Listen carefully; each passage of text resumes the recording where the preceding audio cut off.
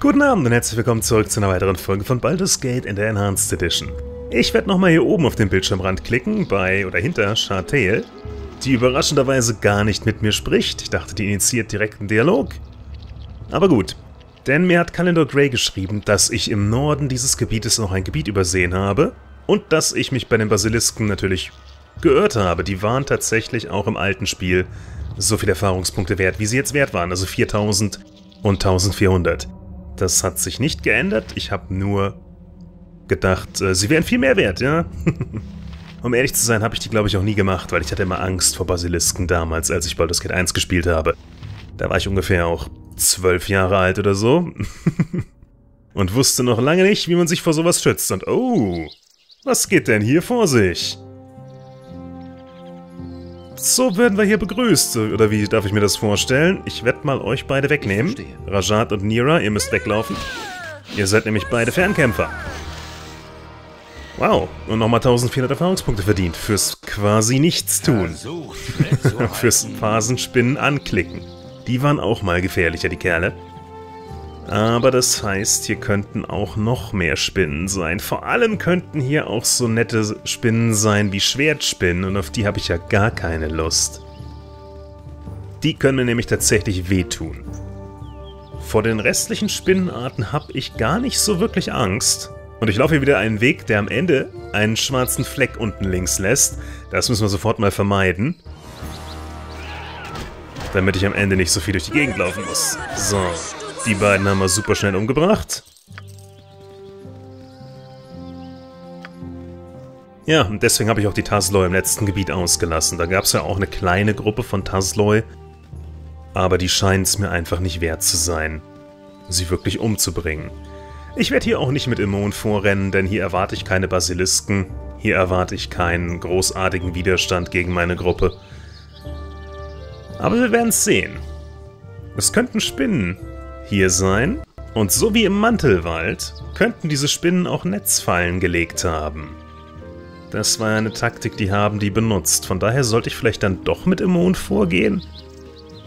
Aber das dauert immer so lange.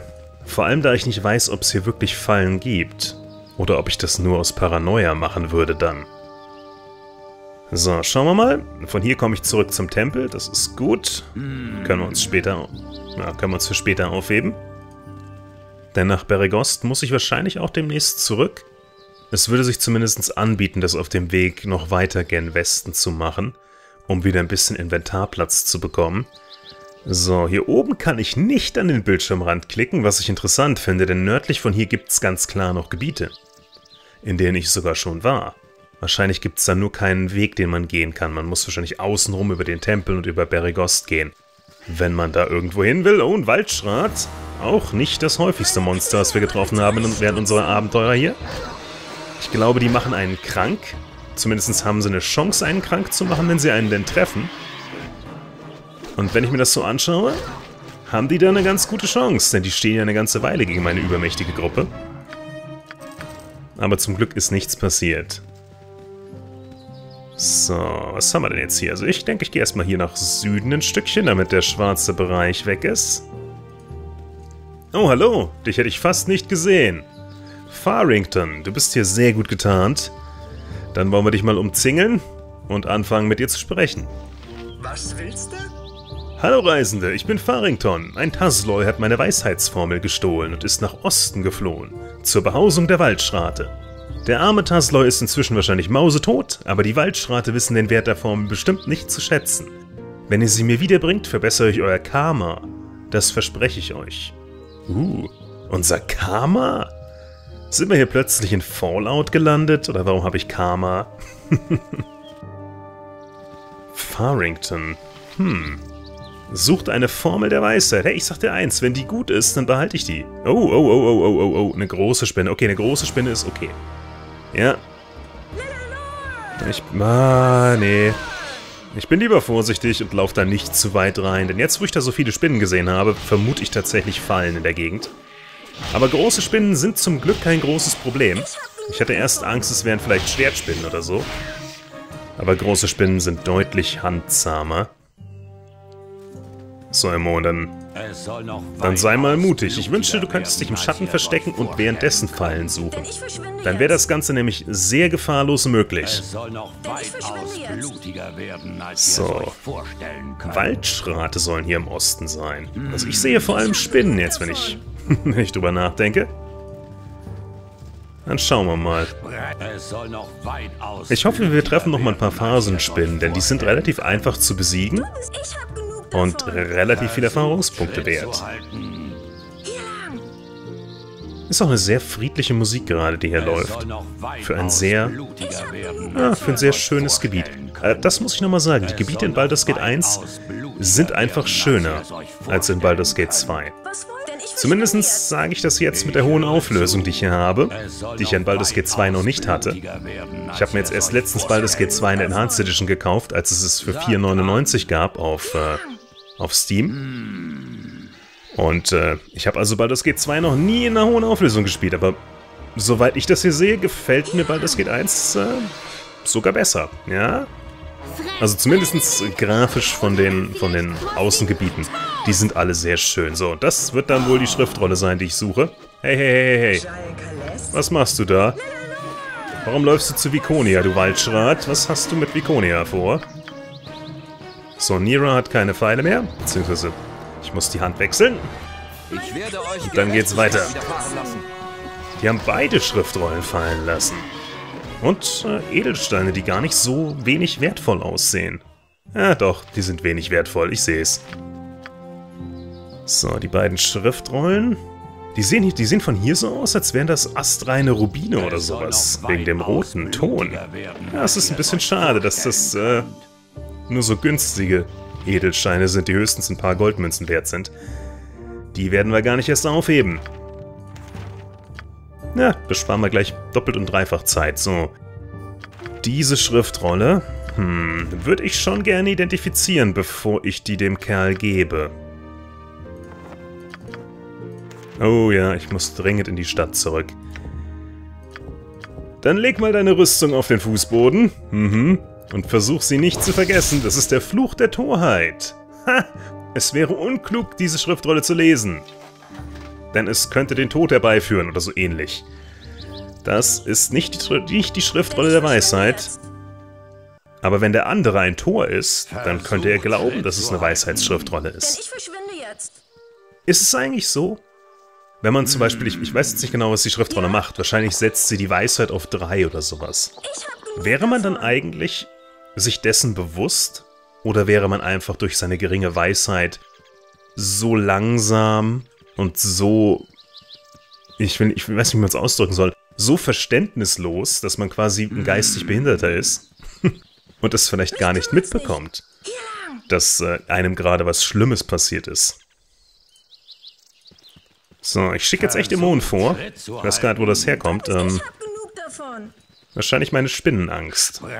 Denn ich verschwinde jetzt. Und ich finde, es gehört sich auch so. Ja, man muss Diebe nach vorne schicken, um nach Fallen zu suchen. Und wir gehen in Schrittchen.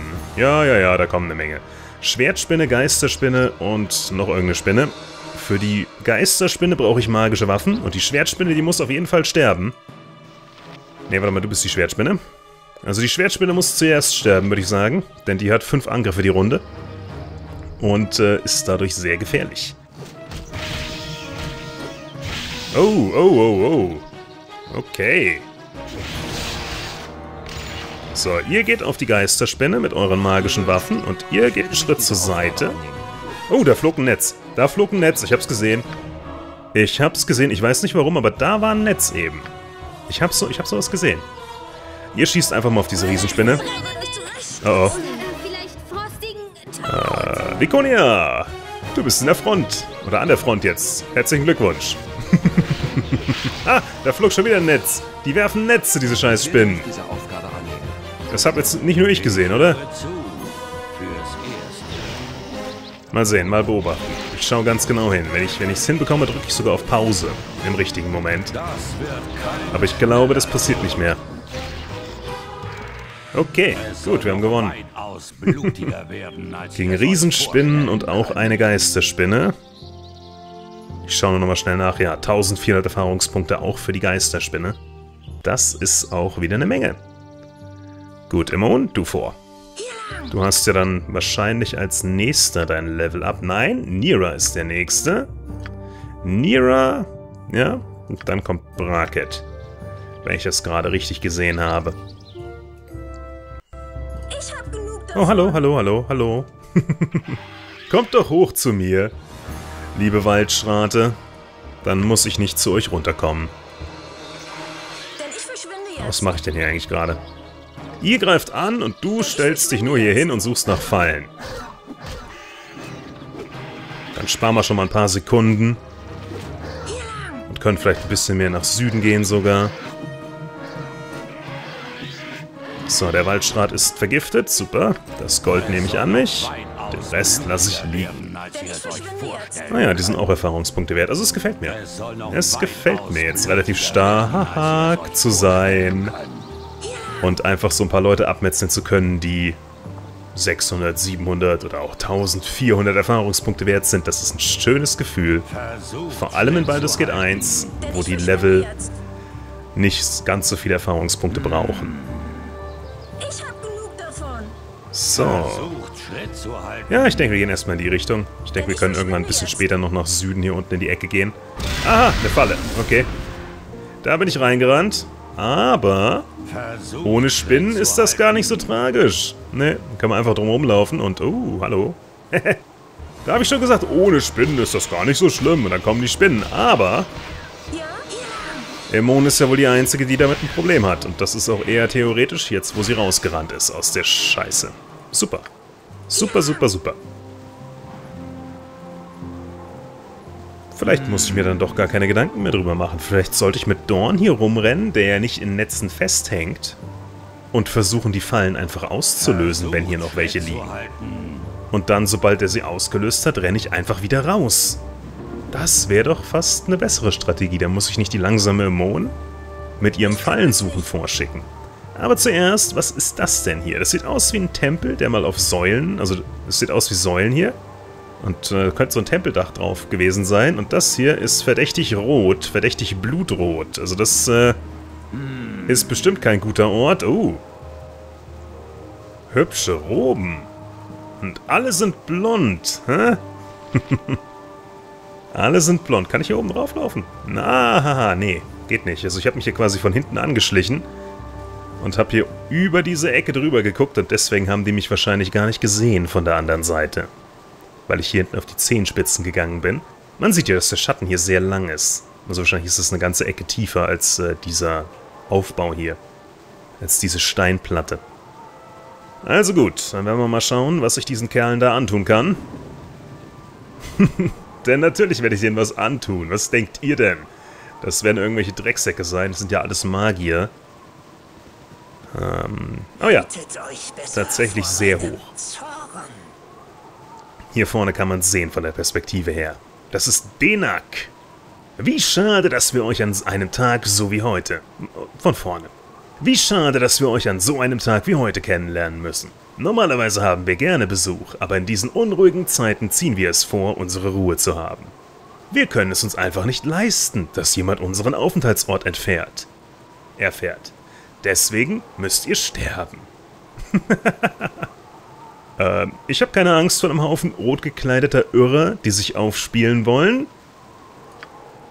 Eine ganze Gruppe arroganter Weichlinge. Welch eine Belohnung. Euer Tod wird umso süßer sein. So, jetzt machen wir mal direkt Pause. Und dann werde ich da mal draufklicken. Bracket aber zur Seite nehmen. Uh, ich, ich könnte Feuerbälle dahin schießen. Aber warte mal, wir werden, wir werden tatsächlich ein äh, Netz hier hinzaubern. Das habe ich lange nicht gemacht. Und ich habe das Gefühl, dass diese dreckigen Magier da hinten... Oh Gott, das sind viele. Aber das wussten wir ja. Dass die schlechte Rettungswürfe haben, oder? Das ist doch so, komm. Ich, ich werde mich dieser Aufgabe an. Ah, deine Steinhaut ist weg, Sag du Drecksack. hey, der hat Maves magische Geschosse. Das ist nicht okay. Hör auf, auf Nira zu werfen. Und was macht ihr da oben? Das ist auch nicht okay. Äh, Strahl der Schwächung. Ah, renn da mal rein. Renn da mal rein, Dorn. Auf nach vorn. Und Bracket, du kannst dich ja mal dem Kerl da... Oh oh. Ja, das habe ich mir besser vorgestellt, wenn ich ehrlich bin. Ähm, erfolgreicher, ja? Aber schauen wir mal. Bis jetzt ist ja noch nichts verloren.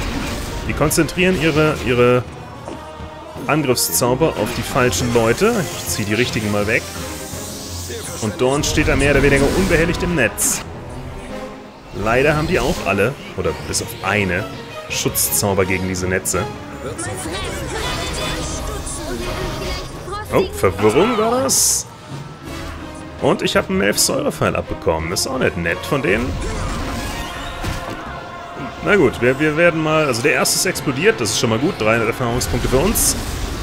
Und Bracket ist im Netz hängen geblieben. Und damit meine ich nicht das Internet, da bleibe ich zwar re relativ regelmäßig hängen, aber das ist angenehmer als das hier. So, dann schaue ich jetzt eigentlich nur, dass äh, meine Leute nicht sterben. Meine Fresse. Seid ihr immer noch am... Du bist immer noch am Leben, Danek?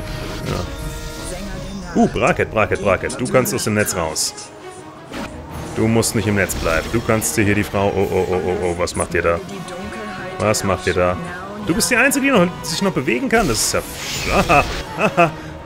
Alles richtig gemacht. Alles richtig gemacht. Ach du heilige Scheiße.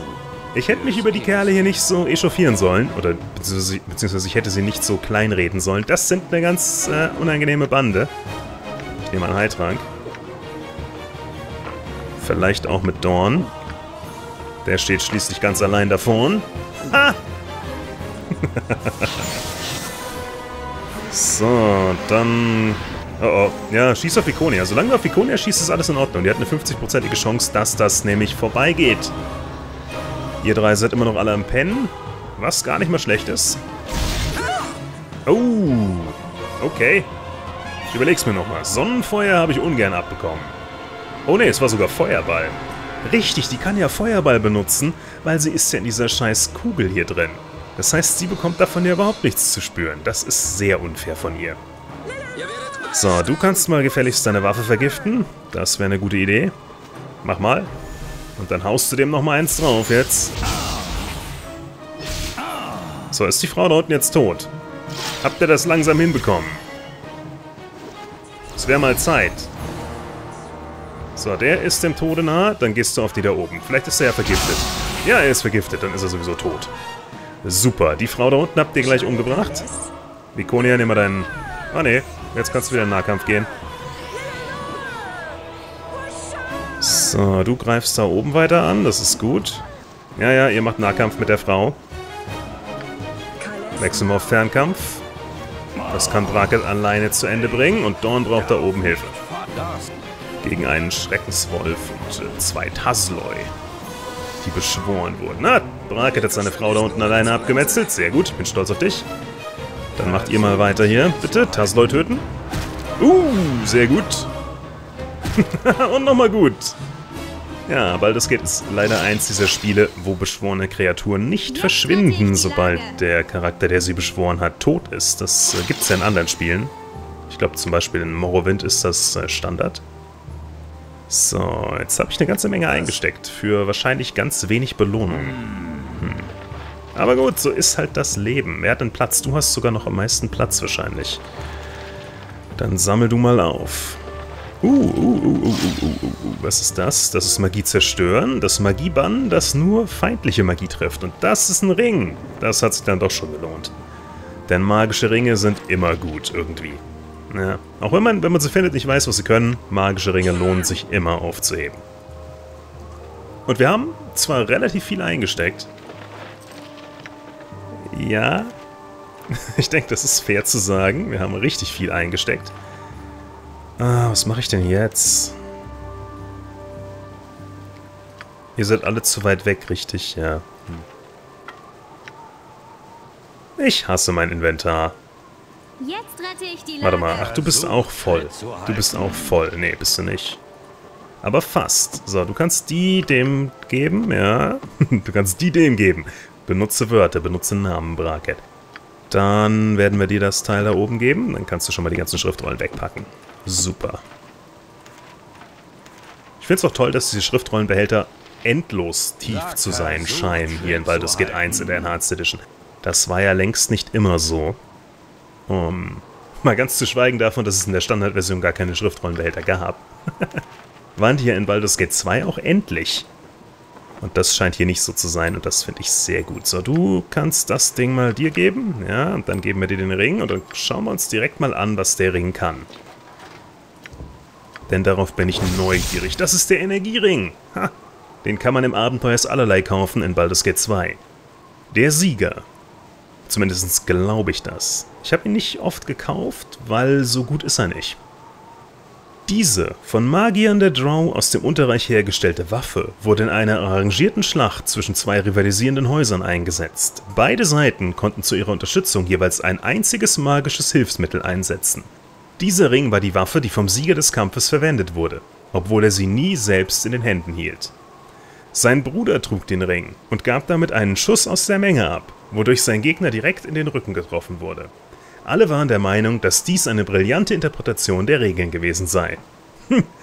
Aber sollte da nicht Magieresistenz gegen helfen? Eigentlich? Jedenfalls kann man damit ähm, quasi ein magisches Geschoss auf jemanden schießen. Das macht zwischen 2 und 12 Schadenspunkten. Und, äh, naja, erlaubt keinen Rettungswurf, was ich schon mal gut finde.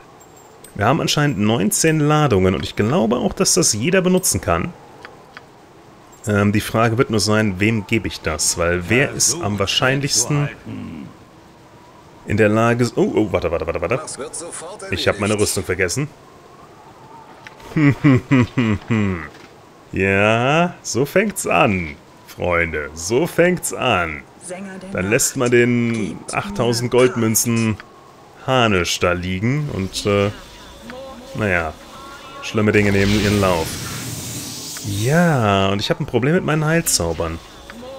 Wenn ich mir das so anschaue, ich werde Rikonia auf jeden Fall auch noch ein bisschen heilen, denn 17 Lebenspunkte sind zu wenig.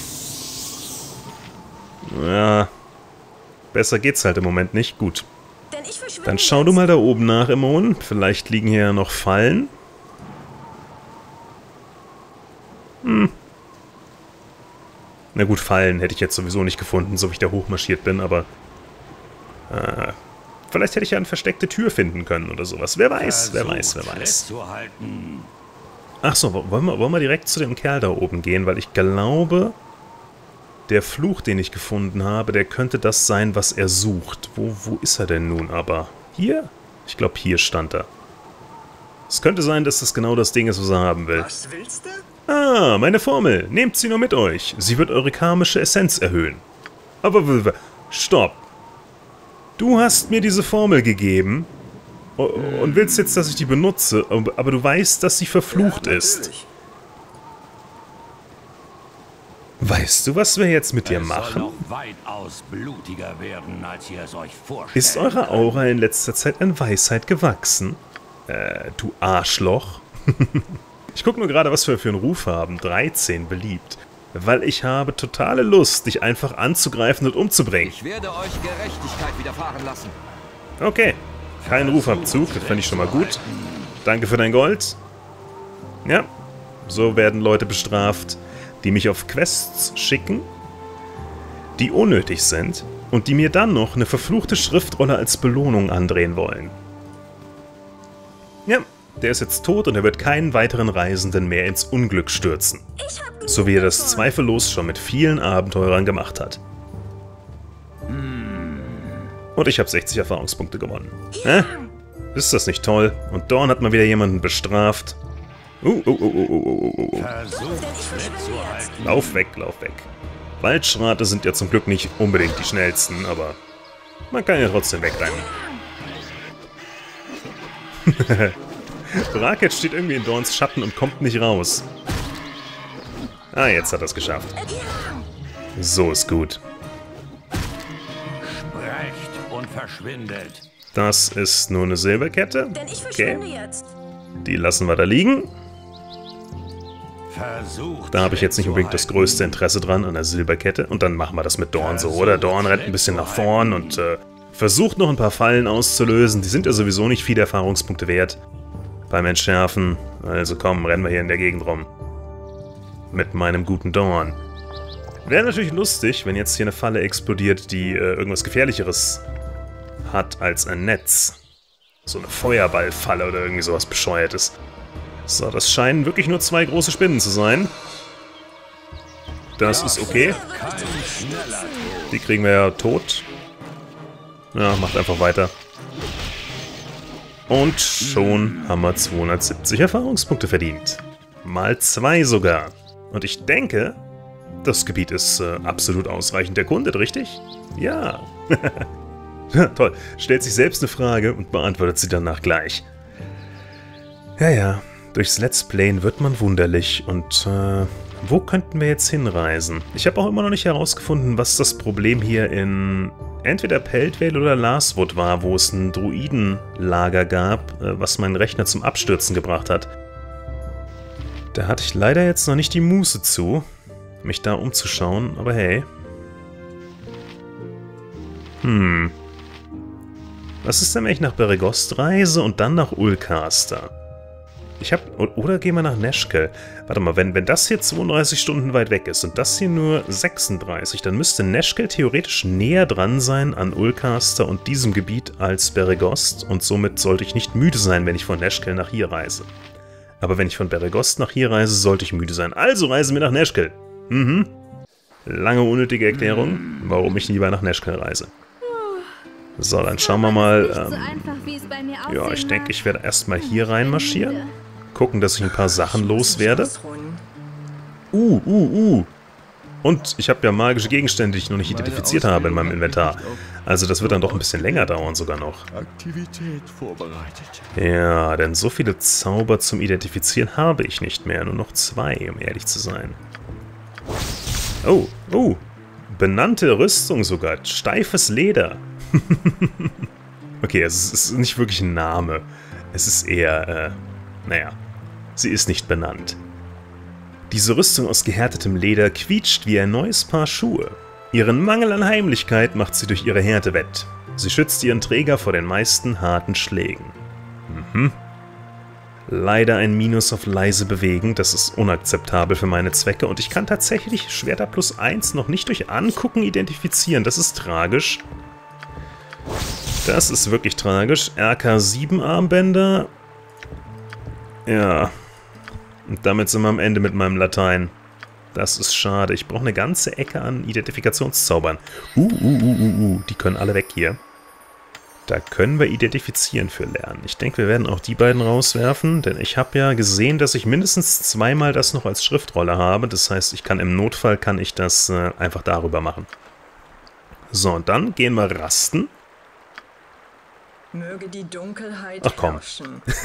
ich höre zu. Dann gehen wir rasten, zwar alle von uns, sonst geht das nämlich nicht. Werden, als ihr es euch vorstellen könnt. Ja, du hast alle deine Zauber benutzt. Ich denke, wir haben dann genug Zauber, um alles zu identifizieren. Oh, hallo Khalid, hallo Yahira. Ich habe ganz vergessen, dass ich euch hier geparkt habe. Das war schon toll mit euch, wenn ich das mal so sagen darf. Damals, ganz am Anfang. So, Langschwert plus 1. Nochmal RK8 Armbänder. Noch ein Langschwert. Uh, ich sollte vielleicht mit Nira lieber machen. Ich hebe mir Brakets Zauber ja ganz gerne auf. Noch ein Langschwert. Ein Bastardschwert plus 1. Ein Morgenstern plus 1. Alles ähm, relativ Standard, aber für Baldur's Gate 1 richtig gute Waffen natürlich. Und wenn ich mehr Leute hätte, die Waffen benutzen, wäre das tatsächlich auch nützlicher für mich. So, schauen wir noch einmal nach der Sagenkunde. Imon hat 28 und Nira hat 25. Das heißt, Imon ist immer noch die mit der besten Sagenkunde. Das hat sich noch nicht geändert. Ich glaube, irgendwann wird Nira sie überholen. Vielleicht. vielleicht, ja, vielleicht. Mal schauen. Ich, ich, ich, da müsste ich jetzt lügen. Also ich glaube, Baden, Barden bekommen sogar... Nee, ich, ich, ich kann euch nicht sagen, wie viele Sagenkunde eine Klasse pro Stufe bekommt. Aber Baden bekommen am meisten. Dann kommen, glaube ich, Magier und dann kommen Diebe. Hm. Kann aber auch sein, dass Magier und Diebe auf dem gleichen Level sind und dass sich das deswegen für äh, Nira nie ändern wird, dass sie die zweite ist. So, die Feuerschutzrobe und die Blitzschutzrobe, die kann ich durch Anschauen identifizieren mit Immo. Und das ist eine gute Nachricht. Dann werden wir das genauso weiter treiben. Oh, die nicht, aber die. Wunderbar. Äh, dann kannst du die auch identifizieren. Und den Speer? Nein. Stopp, das kriegst du. Du ziehst es wieder an. Okay. Ein Wendespeer. Uh, eine verfluchte Waffe. Diese verfluchte Waffe erscheint als magischer Speer. Entsteht jedoch eine Kampfsituation und der Träger greift einen Feind an, so richtet sich die Waffe auch gegen den Träger selbst. Bei jedem Angriff greift der Wendespeer sowohl den Gegner als auch den Träger an. Es handelt sich um eine mächtige Waffe. Man sollte sich jedoch gut überlegen, ob sein Nutzen seinen Schaden aufwiegt. Den Wendespeer kann man nur durch die Anwendung von Fluchbrechen wieder ablegen. Oh ja, hier. Oh, Schwert plus, äh, Speer plus 3. Man, man erleidet allerdings jedes Mal drei Schadenspunkte, wenn man den benutzt, und das ist äh, zu heftig, finde ich. Das ist eine Robe des Abenteurers, da hatte ich mir jetzt mehr versprochen, nachdem ich die nicht identifizieren konnte. Aber was hilft's schon, sich zu beschweren? Nichts. So, den Ring gebe ich... Uh, wem gebe ich den Ring? Dir nicht, nee. Irgendjemandem, ja, dir. Du hast ja noch den Ring der Tierfreundschaft, den ich noch nie benutzt habe. Dann kannst du auch den anderen Ring haben und nie benutzen. so, gehen wir zurück zum Händler und äh, machen das ganze Zeug zu Kohle. Es soll noch weitaus blutiger werden, als ihr ähm, euch vorstellen könnt. Ja, war ein eigenartiger Text irgendwie, habe ich nicht verstanden, dass er mit mir handeln will. So, ich werde dir erstmal all diese Roben verkaufen. Das lohnt sich doch schon mal ein bisschen. Ja, 750 Goldmünzen so gemacht. Dann kannst du wahrscheinlich auch alle meine Edelsteine haben. Uh, ich habe sogar einen Diamant. Das ist nicht schlecht. Und eine Perlenkette. Uh, die aufzuheben hat sich wirklich gelohnt. Im Gegensatz zu den Silberketten, die fast genau gleich aussehen. So, dann schauen wir bei Braket rein. Der hat die ganzen Langschwerter plus 1, die ich natürlich verkaufen werde für 500 Goldmünzen das Stück. Ist das ganz okay, aber mich überrascht der Preis dieser Abwehrarmbänder. Das ist enorm hoch, dafür, dass sie nicht wirklich gut sind. Aber eine nette Überraschung. Also, habe ich wieder was gelernt. Abwehrarmbänder mitnehmen, das lohnt sich. So, die Schleuder plus 1 kann weg. Uh, ja. Und bei dir kann... Uh, das ist nicht deiner, oder? Nee, das ist einfach nur ein Kampfstab. Nicht speziell Niras Kampfstab. Der Wendespeer kann weg. Ich habe niemanden, der einen Speer benutzt. Und ich habe auch kein Interesse an dem verfluchten Gegenstand. Uh, die Pfeile werden teuer. Aber gut, ich denke, damit bin ich losgeworden, was ich loswerden wollte. Bei den Tränken werde ich einfach alle behalten, die ich habe. Der Kerl hier kauft sowieso keine. das ist schon mal ganz interessant zu wissen. Wir könnten, wir könnten in den Tempel reingehen. Ja, das machen wir auch. Und da könnte ich mir dann tatsächlich äh, eine Fleisch-zu-Stein-Rolle kaufen. Das ist ein Bedürfnis, das ich habe. Dann könnte ich nämlich die Frau, die in Mutamins Garten war, noch befreien, wenn ich da nochmal vorbeikommen sollte. Ah ja, okay. Bei dir muss ich gar nichts sagen, du gehst sofort in dieses Menü. Ja, die kaufen wir. Stein zu Fleisch. Stein zu Fleisch. So, das räumen wir weg. Damit haben wir wieder relativ viel Platz. Zumindest bei den Leuten, wo es drauf ankommt. Äh, außer im Mond. Bei der kommt es eigentlich auch drauf an. Das kann man noch stacken miteinander. Dann bleibt wieder ein Pfeil übrig. Das ist doch nicht, das ist doch nicht, das, das ist ästhetisch nicht schön. Diese, diese Ein-Pfeil-Stacks. Das ist, das geht mir auf den Sack. Die werde ich irgendwann verschießen, wenn das so weitergeht. Aber gut. Vielen Dank fürs Zuschauen und bis zum nächsten Mal.